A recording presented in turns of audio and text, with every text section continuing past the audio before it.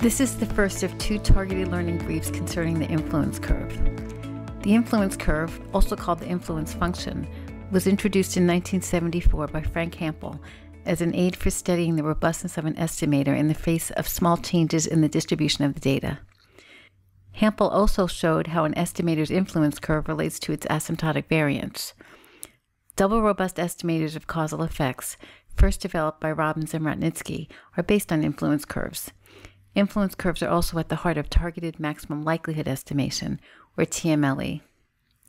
In this brief, we'll go over Hampel's example of the influence curve of an estimator of the mean. An estimator is a mapping from data to a value. For example, the data here consists of 18 values between 25 and 30.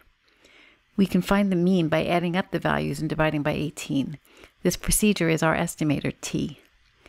We can rewrite the equation by distributing the 18 in the denominator. Each term in this sum consists of a value and its associated weights. Taken together, they comprise a probability measure f. Applying the estimator to our probability measure yields mean mu. In this case, t of f equals 27. We can plot how the mean changes in response to changes in the data distribution. The x-axis is the real number line. The y-axis shows how the mean changes in response to the addition of a point mass at x. As shown, adding a point mass whose value is mu has no effect on the mean. Adding a point mass to the right increases the mean, and if we add it at a more extreme value, it produces an even more dramatic increase. So these points show us how our estimator of the mean behaves in response to small changes in the data distribution. The line through the points is the influence curve of our estimator of the mean. It is easy to see that the estimate of the mean is quite sensitive to perturbations in the outlying parts of the distribution. Let's examine the effect of a perturbation in our previous example. Suppose one of our observed values of 27 was actually equal to 30 instead. We can think of this as a mixture distribution that is 17 eighteenths of the original distribution f, with the remaining 1 18th shifted to the point x equals 30. Let epsilon represent the 1 18th fraction, or more generally, any amount between 0 and 1. We apply estimator t to this mixture distribution to obtain a new estimate, 27.16 repeating. Now we are ready to look at a formal definition of an influence curve in a special case restricted to the real number line. The influence curve of estimator t and underlying probability distribution f is defined pointwise as the limit when epsilon approaches zero of the difference between the estimator applied to the mixture distribution and the estimator applied to the original distribution divided by epsilon, the strength of the mixture. In this notation, delta x is the probability measure determined by the point mass 1 at any given point x on the number line. This form might look familiar. Recall from introductory calculus that the limit as delta x goes to 0 of delta y over delta x is a derivative that describes an instantaneous rate of change. In fact, Hampel wrote that the influence curve is essentially the first derivative of an estimator viewed as a functional at some distribution of the data. With this general definition in place, we can derive the influence curve of our estimator of the mean. The first term in the equation is simply the estimator applied to the mixture distribution. We wrote that as 1 minus epsilon times mu plus epsilon times x in our earlier example, where epsilon was 1 18th. T of f is simply mu. The influence curve for the mean is given by this equation.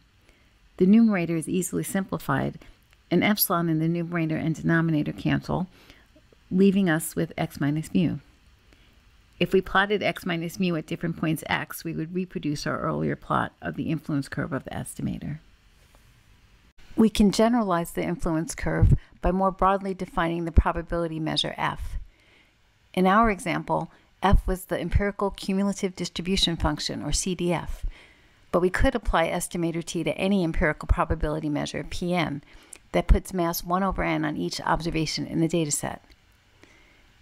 When we have a data set containing n observations O and probability measure Pn, our estimate is evaluated by applying estimator t to Pn. The influence curve at Pn is the derivative with respect to epsilon of the mixture where a point mass is shifted to delta O. the density that puts mass 1 on observation O.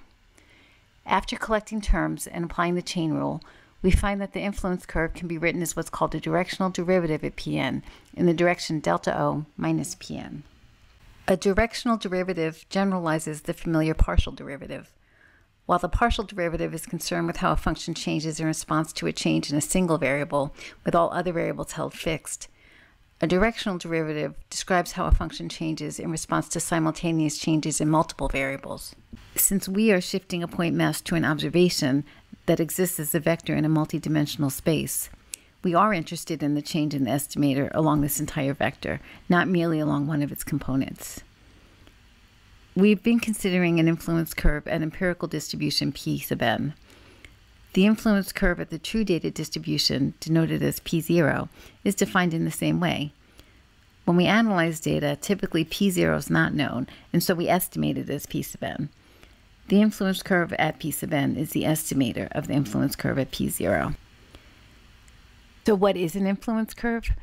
An influence curve is a functional derivative describing the behavior of an estimator under perturbations in the probability distribution. It provides insight into the estimator's stability in response to changes in the distribution of the data. Watch the next targeted learning brief to learn about the central role of the influence curve in targeted maximum likelihood estimation.